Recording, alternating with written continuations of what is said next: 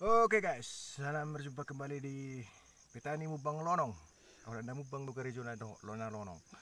Jadi sonari sekarang kita akan mencoba oh, kegunaan dari postrin sama ulat gerayak.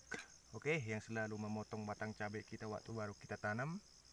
Jadi di sini kita akan melakukan percobaannya. Apakah dalam 30 menit dia bisa mati atau dead? Ya, mari kita saksikan jadi ini tadi udah saya kocok dua sendok ke dalam satu oh, ini. Satu tangki. 5 ember dari air. Terus oh, percobaannya kita ini ulat gerayaknya cu.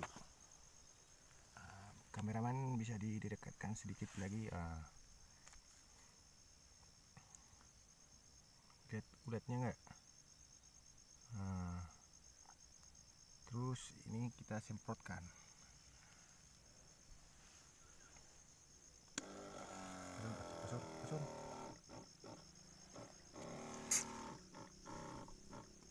Oke. Kita tunggu hasil selanjutnya. Eh cito oke guys. Ini ini tengok dia. Ah. Ah takut dia takut dia. Ah mau kabur dia mau kabur dia nih mau kabur dia ini. Oh, langit-langit tunggal dia.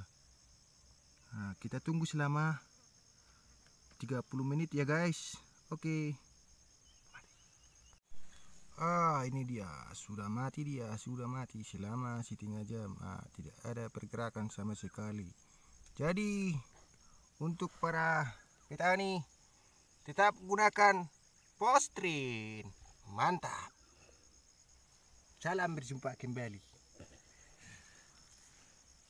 Ah, ngamati bimana?